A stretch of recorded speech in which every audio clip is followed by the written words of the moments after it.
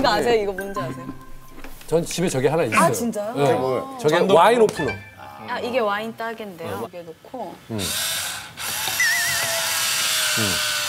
딱 해서 자동으로 따지는 거. 오 신기하다. 우와 우와. 그게 아니 막 남자친구한테 이게 있었으면 좋겠다는 얘기를 멤버들이 하더라고요. 근데 저는 개인적으로 남자친구가 만약에 같이 와인을 마셔서 이걸 깐다면은 네. 손으로 해줬으면 좋겠다. 가보자. 그러면은 희철 씨가 저 아이디어 상품을 한 번만 따져보세요. 아 이걸로요? 뭐야? 좋아한다.